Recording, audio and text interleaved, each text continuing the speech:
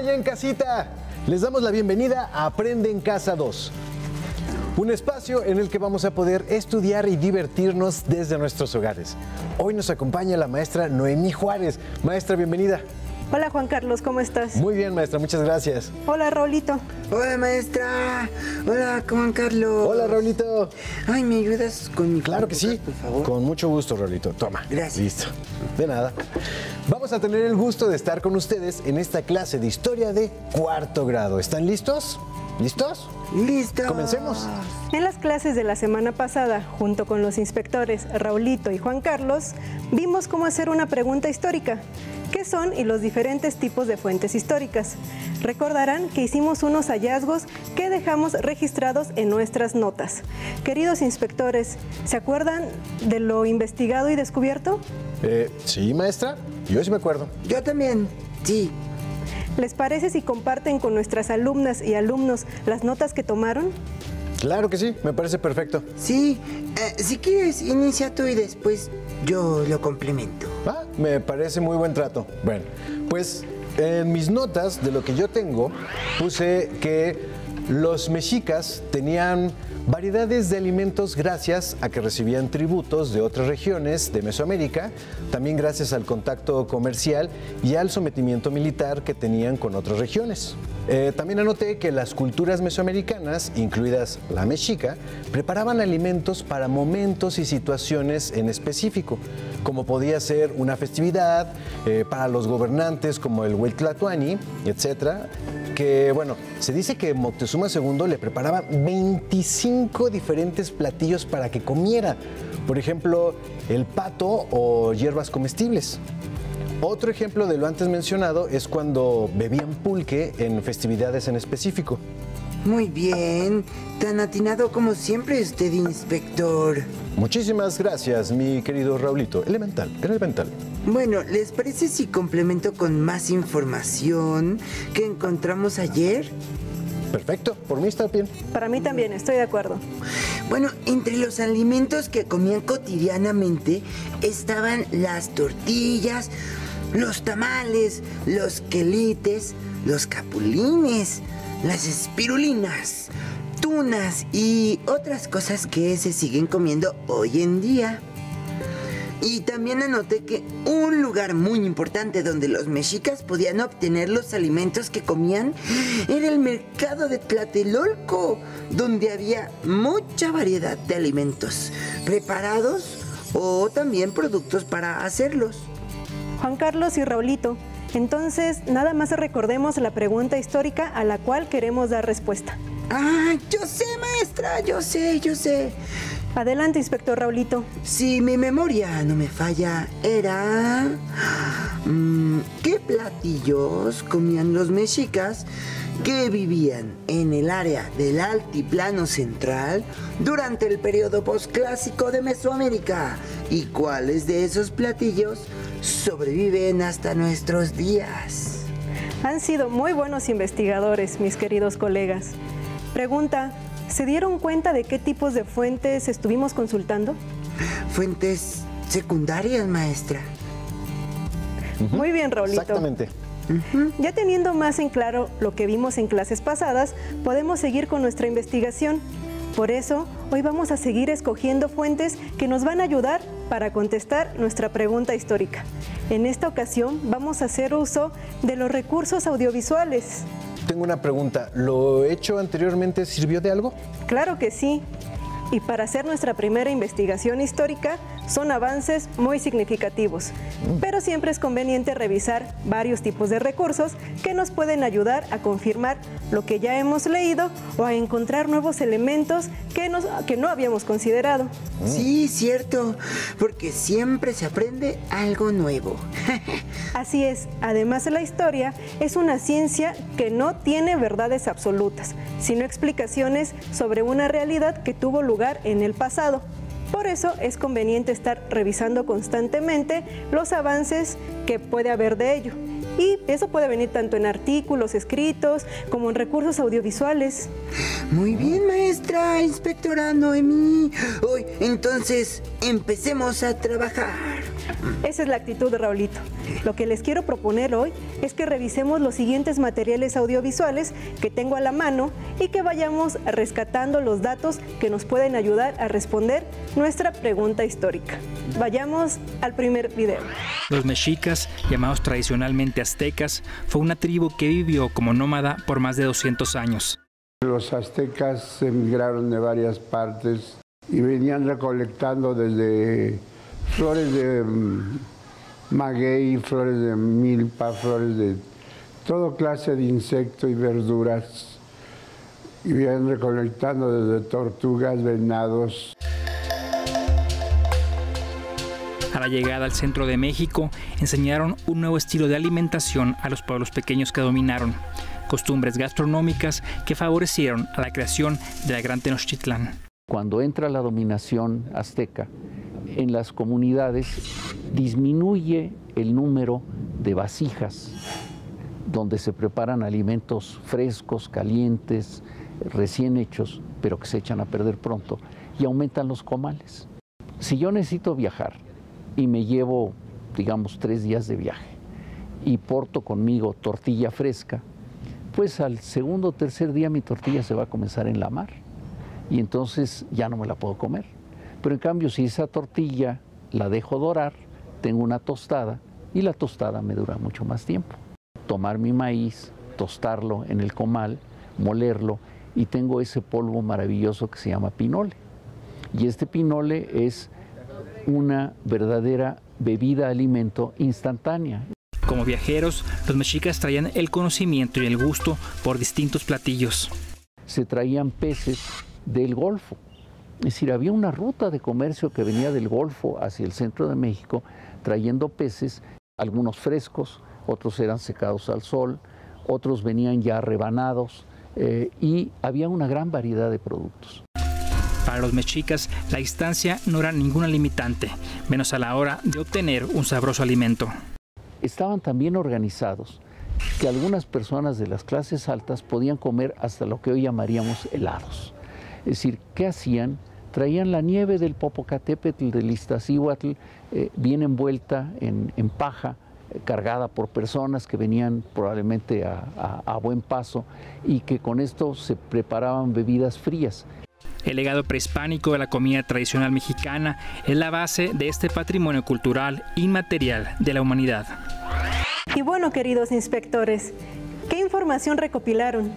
Bueno, yo recopilé que el señor Fortino Rojas, el chef que aparece en el video, dijo que los mexicas, cuando estaban apenas viendo pues dónde asentarse para vivir, recolectaban en el camino flores de maguey, de bueno, flores de la milpa, toda clase de insectos, tortugas y hasta cazaban venados. Supongo que, bueno, eso es lo que comían siempre y cuando pudieran recolectar o cazarlo, ¿verdad? Pero era un alimento que comían sin necesidad de que fuera un momento en especial como una festividad o algún ritual. Raulito, ¿tú qué anotaste? Yo anoté, maestra. Yo anoté los comentarios de Luis Alberto Vargas del Instituto de Investigaciones Antropológicas de la UNAM.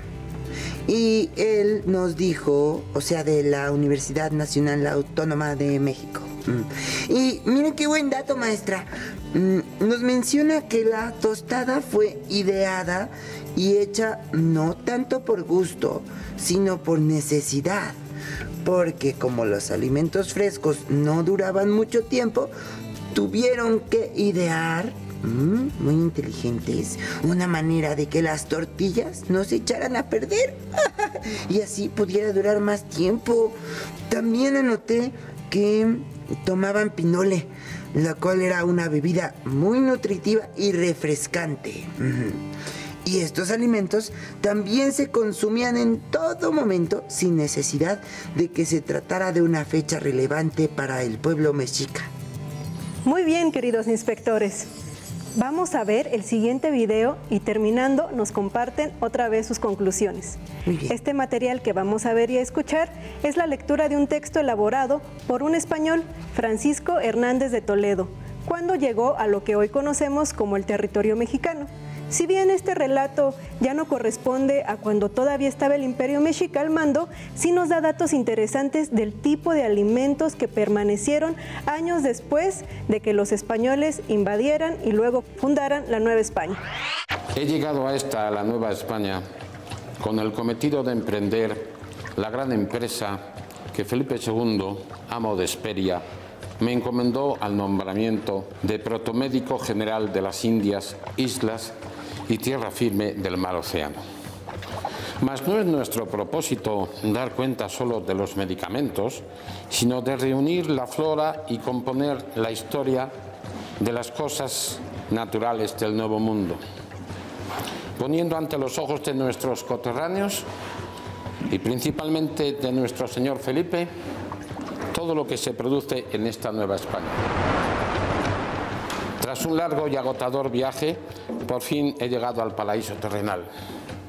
Pues apenas hay en el orbe una ciudad que, que por la copia de los alimentos y por la abundancia de sus mercados y del suelo pueda ser comparada a México. En mis continuas exploraciones me he maravillado en la farmacopea y alimentos indígenas.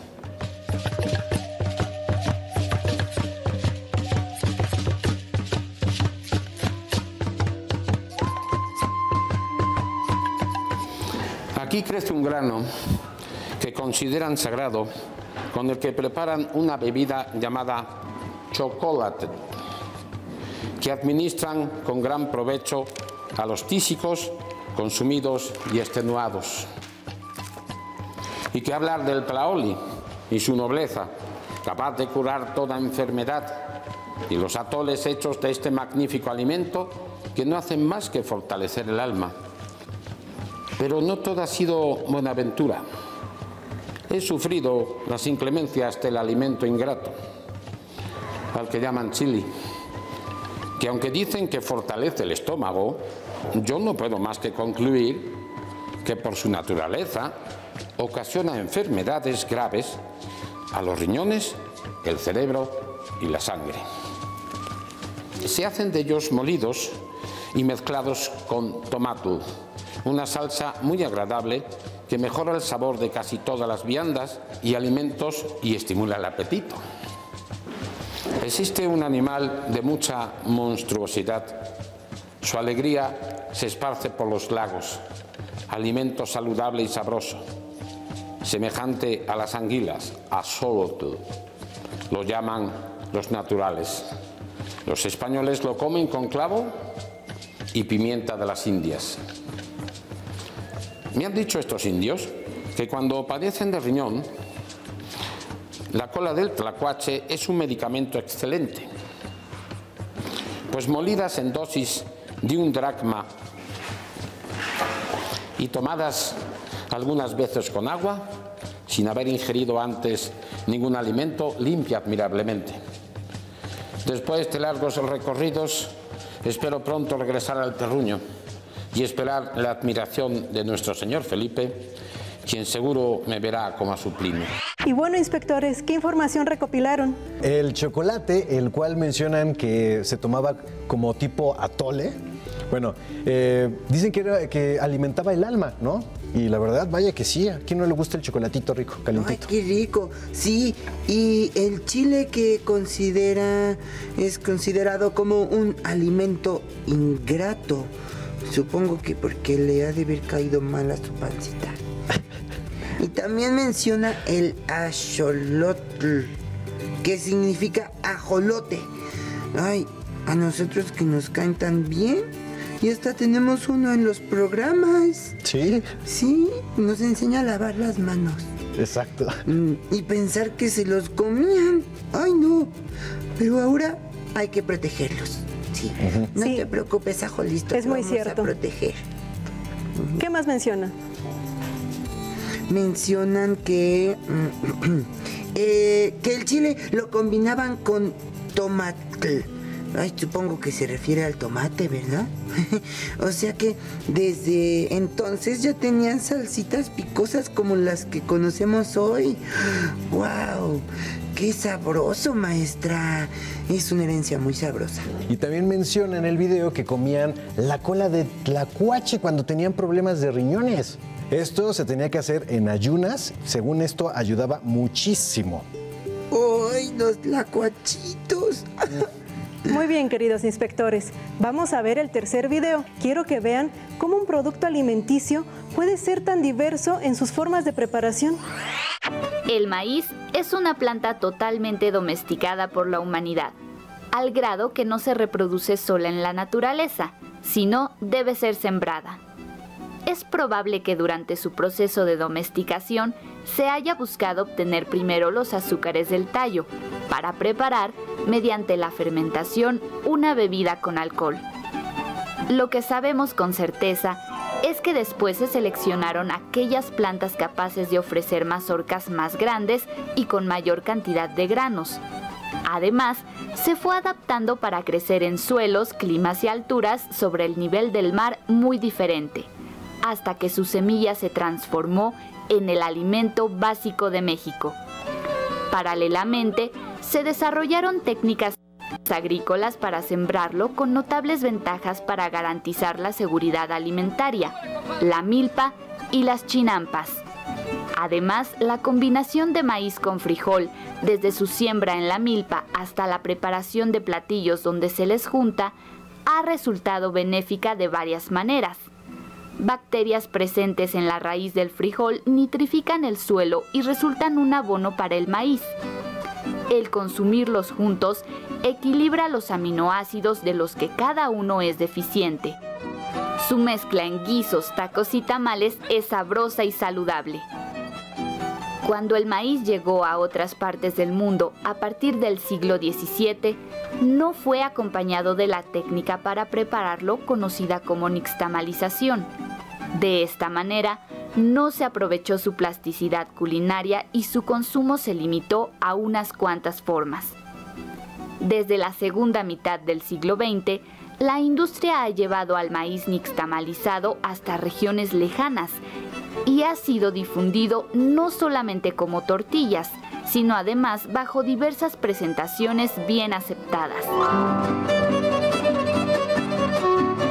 También ha sido materia prima para otros productos para la alimentación, la cosmética, la industria y hasta combustible. El maíz todavía tiene un largo camino por recorrer. Y bueno, inspectores, ¿qué información recopilaron? Aquí vimos toda la evolución y las ventajas y usos del maíz. ¡Ay, es increíble! El maíz es un alimento maravilloso. Sí, demasiado. También vimos que el frijol y el maíz se sembraban y se consumían juntos desde hace cientos de años. Y eso tiene muchísimas ventajas. Y a mí me llamó muchísimo la atención que hasta en cosméticos también se usa ahora el maíz. Muy bien, investigadores. Quiero recordarles, Raulito y Juan Carlos, y a todas las niñas y niños que nos ven en casa, que los videos que en esta ocasión usamos fueron de instituciones que se dedican a la investigación científica. Cuando nosotros veamos un video, es importante ver quién lo hace y revisar si tiene un respaldo académico que lo avale. Como en el caso del primer video donde nos mostraron a qué se dedicaban o de qué institución provenían. O, en el caso de los otros dos videos que se trató del Instituto de Investigaciones Antropológicas de la UNAM. Así lo apunté, maestra. ¿Estoy bien? Claro que sí, estás en lo correcto, querido Raulito. Pues por el día de hoy hemos estudiado varias formas para recopilar información con recursos audiovisuales. Les invito en casa a que lo hagan auxiliándose de las siguientes preguntas. 1. ¿Qué platillos nos refiere el recurso audiovisual? 2. ¿Quién lo podía comer? 3. ¿En qué momento lo podía comer? No las tienen que contestar en ese orden, ni las tienen que enumerar una por una para poder dar respuesta. Con que sus aportaciones tengan en claro dónde se encuentran es más que suficiente, así como lo hicimos hoy en esta clase. Juan Carlos y Raulito, eh, guarden esas notas porque las vamos a usar en las siguientes sesiones. Claro que sí, maestra.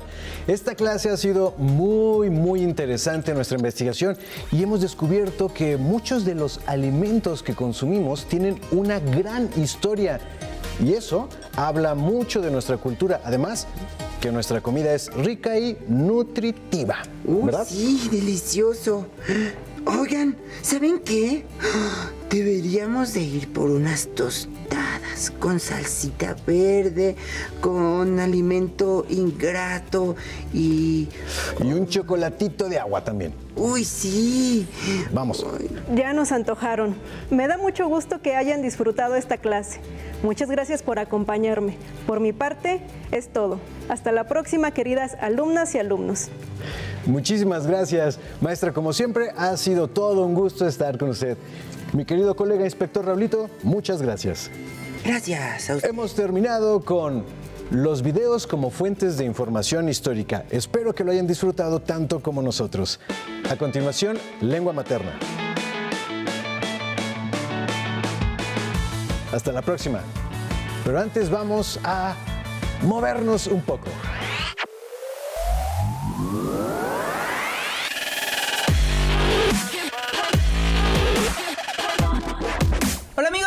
Yo soy Romel Pacheco y bienvenidos nuevamente a hacer un poquito de ejercicio mientras estudiamos. El día de hoy vamos a hacer una pequeña rutina de tres ejercicios, dos ciclos. Acompáñenme, es muy sencilla y les va a ayudar a oxigenarse y seguir haciendo su tarea.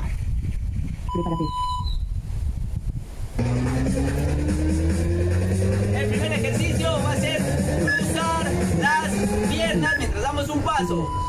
Venga, así. Durante 30 segundos.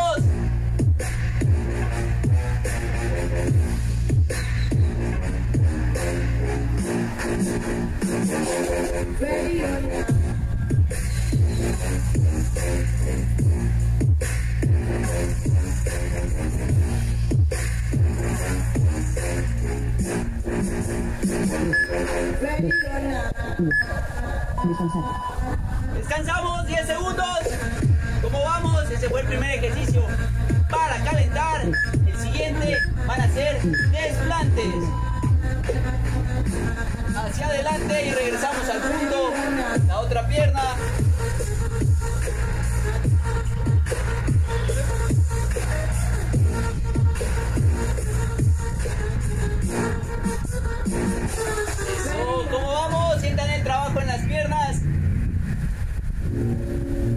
Hoy no es fuerza explosiva, hoy es una fuerza distinta. Vengan. Descansar. Descansamos. Tercer ejercicio. Van a ser squats con isometría. Uno, dos, tres. Uno, dos, tres.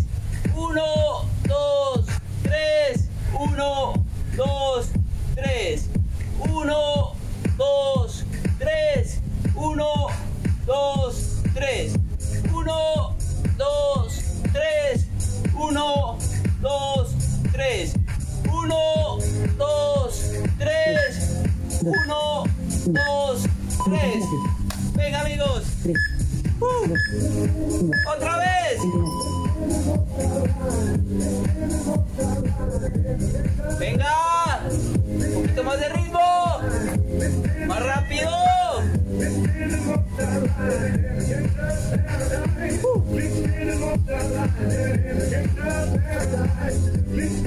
Trabajo del glúteo.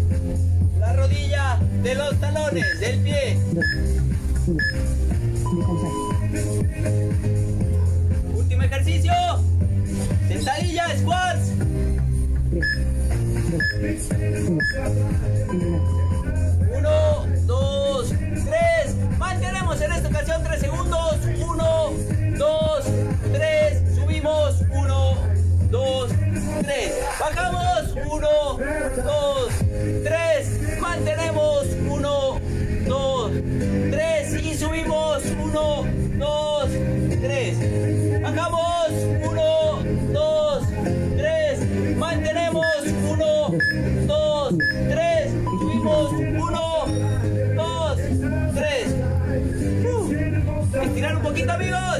Flexionamos la rodilla hacia atrás. Jalamos. Siente cómo se estira el músculo. Ahora la otra pierna. Eso, sientan cómo se estira. Flexionamos hacia adelante. Si pueden llegar al piso, mejor. Si no, hasta donde lleguen.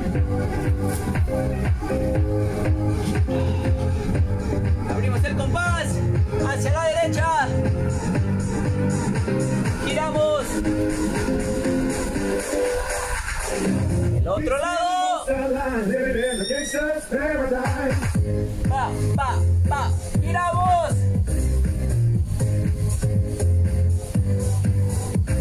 Tiramos los brazos hacia arriba. Agarramos el codo y lo jalamos ligeramente. Sienten cómo se estira el brazo. Eso. Hacia el otro lado. Tiren. Agarren el otro codo.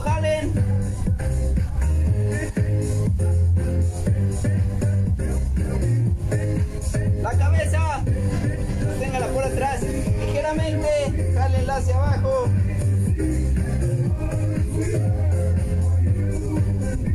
Regresamos. Agarren la oreja derecha, la oreja izquierda con su mano derecha. Jálenla ligeramente.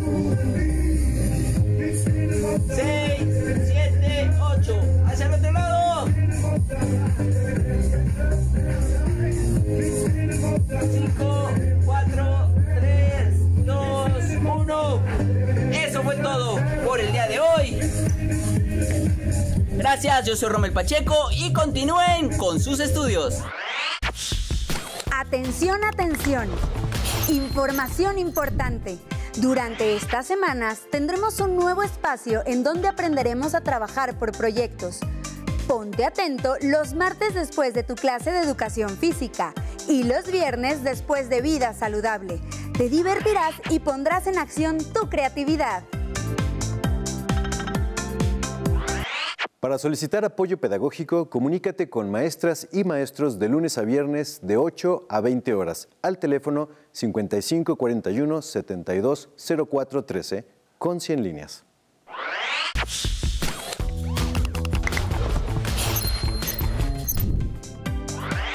El 11 de diciembre no habrá clases porque hay Consejo Técnico Escolar, así que tendremos programación de entretenimiento. No te la pierdas.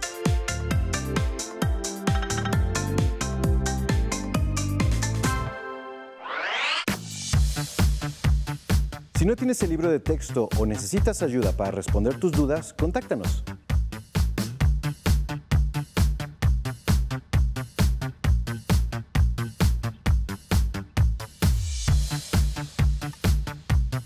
También puedes encontrar los libros de texto en la página conalitech.cep.gov.mx. Si quieres volver a ver los programas de Aprende en Casa, los puedes encontrar en la siguiente liga: aprendeencasa.cep.gov.mx.